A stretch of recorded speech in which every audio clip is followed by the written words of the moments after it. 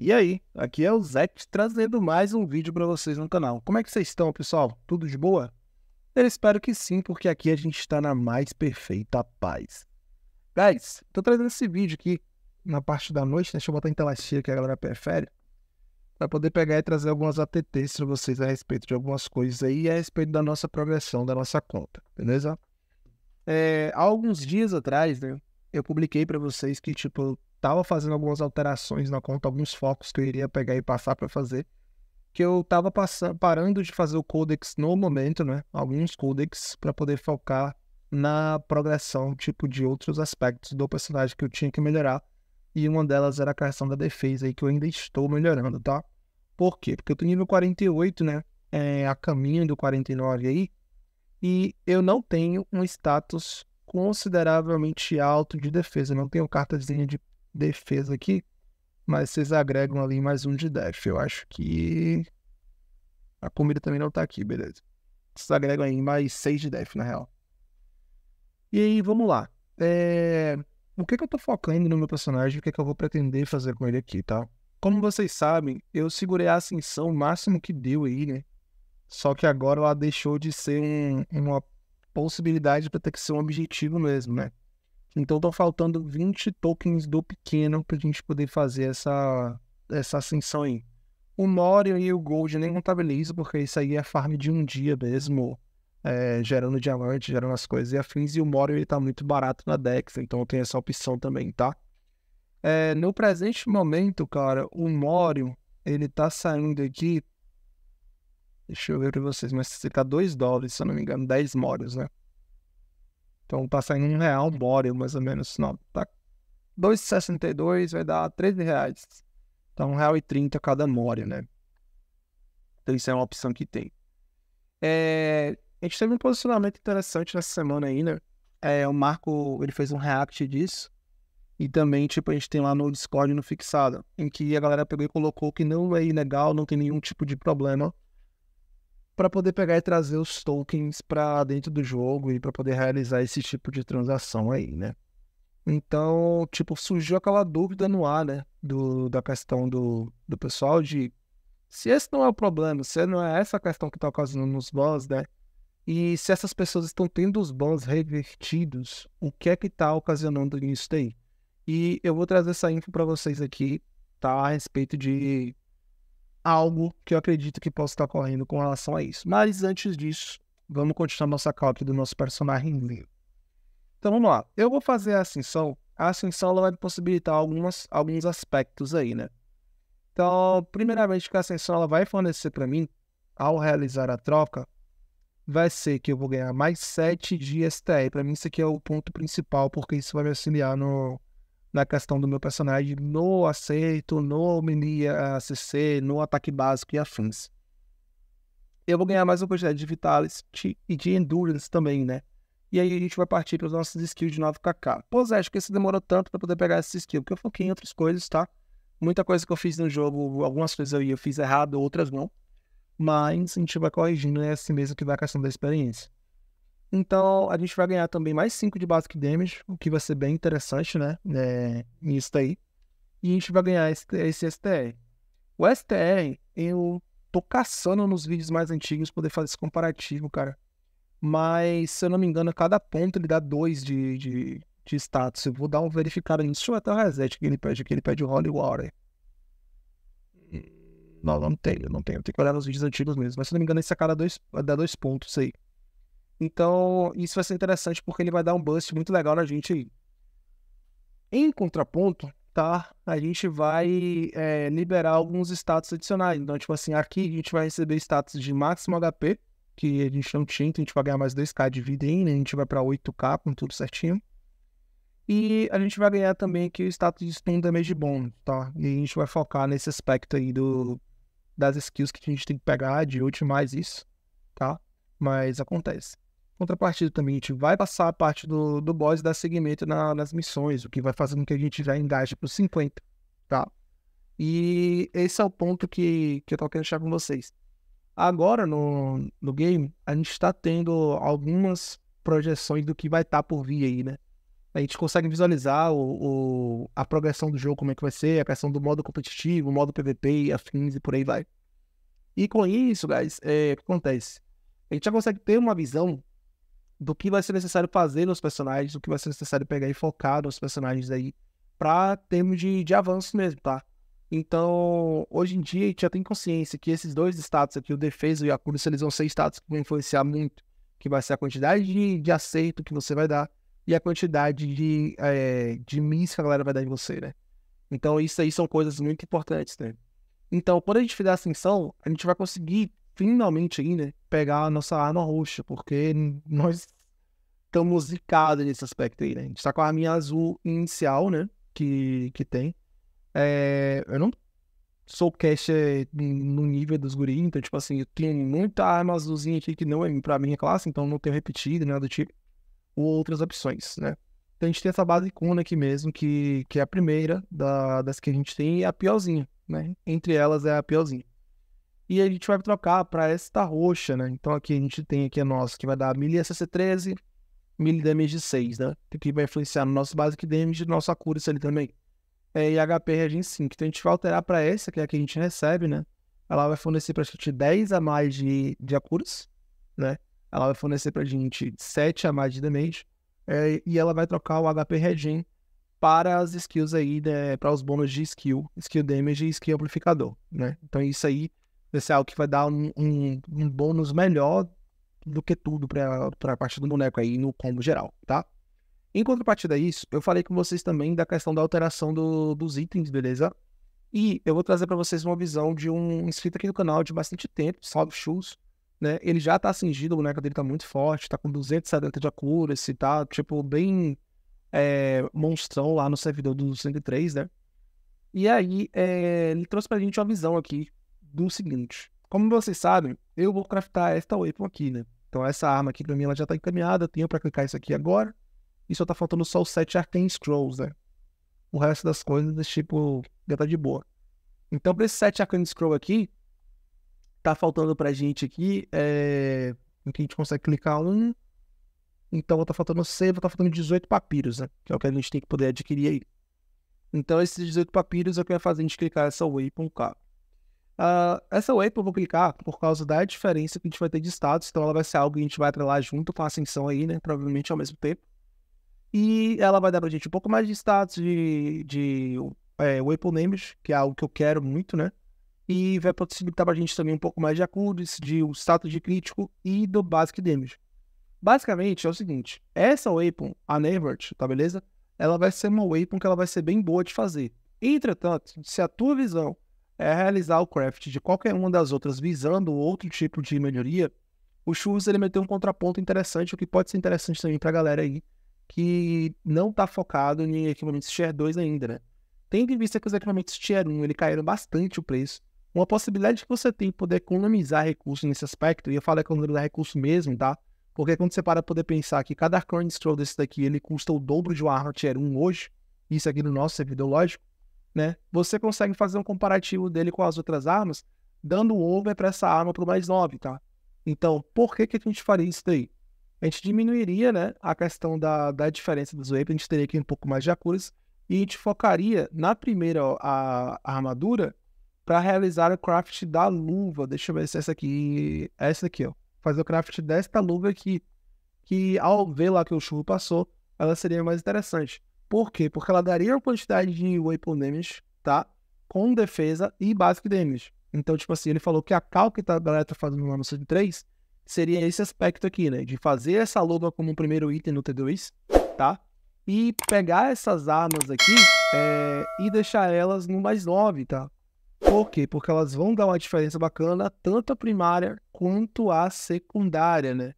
Então elas dariam uma diferença bacana em cima disso aí, tá? Compensando assim a questão do Acuras. Porém, isso é algo que é válido se você for fazer uma dessas primeiras armas aqui, é, ou alguma coisa do tipo. Essa última arma aqui, se você for fazer um comparativo dela, 571133, com as outras armas, você vai ver que ela vai ter diferenças, tá? É, bem, ela tem diferença bem mais gritante, né? Com, com relação às outras. Então aqui, a de que tem uma mais de Waypoint Damage, porém ela vai dar MP regen enquanto daqui vai dar crítico, tá? Então isso aí já é uma coisa mais de, de build de cada um. Eu vou preferir essa aqui com crítico, é tanto que eu já tô com meus papeizinhos roxos aqui, né? Só esperando o clique. Então qual que vai ser a nossa ordem das coisas aí? Nossa ordem vai ser eu vou fazer essa ascensão, né? Então, tipo assim, o que eu vou fazer? Eu vou pra Ileta, vou farmar o que der aqui, amanhã eu vou morar no TA lá, né? Tô pegando o diamante que eu tô fazendo. Eu tô convertendo todo em tokenzinho, então assim, venda, venda, venda, venda, venda, tokenzinho, venda, venda, venda, venda, tokenzinho, entendeu? E tá indo assim. E beleza, né? Então, tipo, o que a gente vai fazer isso, fazer esse farm aí, né, em Ileta, no TA, ver o que a gente consegue dropar aí para poder pegar e fazer o, essa conversão em cima e fazer essas duas alterações que vão mudar bastante a mecânica do nosso personagem, tá? É, e o que, é que, eu sei hoje sobre a questão de personagem acendido aí, tomando como parâmetro tanto a visão do, do Shoes quanto de, do, do Hal, né, que fez a ascensão. Então, tipo assim, o que, é que eu tenho de exemplo? Eu tenho o Hal que ele tá jogando no, no Free, né? Então, tipo assim, ele tem a ascensão que ele fez com muito custo, mas ele não tem tanto codex, ele não tem tantos equipamentos azuis, né? E o boneco dele é um boneco que está forte para o parâmetro geral do servidor, porém fraco comparado com os acendidos, tá? Então, nisso daí, ele consegue gerar um farm, ele consegue gerar algumas paradas, só que ele tem dificuldade em algumas zonas. Então, ele vai para uma zona tipo um teado 50, 50 e pouco ali, ele vai sentir, tipo, porque ele vai tomar muito damage, porque ele não tem muito codex, tá? Ele tá com menos de 100 codex, ele tem uma vontade de redução que auxiliou ele nisso, porém tem esse porém. Quanto o Shoes, ele já tá na parada mais de, de cache, mas não de cache pesado, né? Tá num médio cache. Ele consegue pegar e farmar ali tranquilo nessa mesma spot. E aí o que que dá desse contraponto? É, nesse tempinho ali que o Shoes ficou farmando de uma hora, uma hora e pouco, duas horas no, no TA, ele conseguiu fazer tipo quase 70k de pontos de, de token, né? E fez por volta de 700 dimas. Então, qual é a minha visão disso daí? Eu vou acelerar essa ascensão, né? Porque é acendido, o meu boneco ele vai ficar mais ou menos na média do que o boneco dele tá é, por causa dos equipamentos que a gente já tem e os equipamentos que a gente vai fazer também. E aí, com isso, cara, é, eu vou recuperar esses diamantes nesse aspecto aí. E aí entra o ponto também da questão da discussão que a galera falou, tipo, olha, será que vai ter alguma coisa que vai influenciar nos tokens pequenos? Será que os tokens pequenos vão vir agora? Será que eles não vão vir e tal? E a real é, eu não sei, nenhum criador de conteúdo tem como saber isso agora, tá? É, eu cacei essa informação em fórum, é, no Reddit, com a galera que, tá, que tem o negócio do Reddit da galera que joga, no Facebook, na comunidade dos espanhóis, na comunidade do, dos, dos chinos, né, que estão aqui também. E não tem nenhuma informação lá, nem tão pouco no fórum do Netcrawl, lógico, né? Senão seria foi o primeiro lugar que, que eu olhei. É, e o que, é que eu posso pagar e falar para vocês de caráter especulativo, tá? No Coreia, é, a gente tem esses tokens que realmente são vendidos no ponto da guilda, tá? Então você tem como fazer a aquisição desses tokens. Eu não sei o valor exato dessa quantidade de token que dá para fazer a aquisição. Tá? O que eu sei foi a informação que trouxeram para mim, que seriam 30k de, de pontos de guilda, o mesmo valor de um token de um token grande, né, seriam 50 tokens. Eu não sei se isso é verídico ou não. E você poderia comprar isso por semana. É, porém, cara, o que acontece? Eu não acho, eu não acho, no ponto de vista lógico, que a empresa ela vai trazer isso por agora, beleza? Por quê? Porque para eles é mais interessante que a necessidade da ascensão ela exista e que a galera gaste diamantes para poder pegar e, e, fazer a aquisição desses tokens, ou drop, ou venda, ou faça o que for, e postergar isso mais lá para frente, tá? Então, o que é que eu acho que deve acontecer?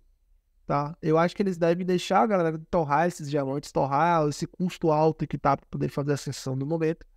E com essa ascensão aí, né? É, quando a galera parar de injetar tanta grana no game, que provavelmente vai ser depois desse aspecto das seeds aí, que vai ter alguma vazão de criadores de conteúdo e afim. É, eles vão pegar e colocar algo pra massa, né? Pra galera do, do free, pra galera que tá no semi-cash, algo do tipo, pegar e conseguir dar essa extensão. Pra quê? Pra que essa galera consiga aproximar de, de novamente e forçar a galera que é cash aí a ter que injetar mais grana no game e ir pra frente e assim vai, entendeu? Então, esse é o ponto de vista lógico que eu acho que, que a empresa vai tomar, porque para eles é mais rentável, tá? Só que isso não é um, um, padrão, tá, pessoal? Da mesma forma que eles podem fazer isso, eles podem simplesmente lançar isso agora para poder manter a galera dentro do jogo, né? Forçar com que a galera acenda e tornar o jogo um pouco mais interessante para atualiza atualizações futuras, tá?